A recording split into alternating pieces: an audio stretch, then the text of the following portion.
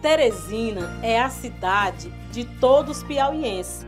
Quando aqui cheguei para morar, vinda do interior da minha querida Monsenhor Gil, fui acolhida pelo calor do seu povo. Uma cidade bonita, com muitas oportunidades, mas também com os problemas e desafios que o seu povo enfrenta com coragem. Hoje, quando a nossa capital completa 170 anos, abraço cada um dos teresinenses e agradeço o carinho e a solidariedade que recebi da cidade. Feliz aniversário, Teresina!